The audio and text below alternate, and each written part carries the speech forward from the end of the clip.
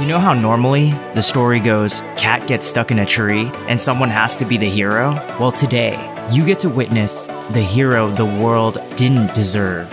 How would you react to this cat?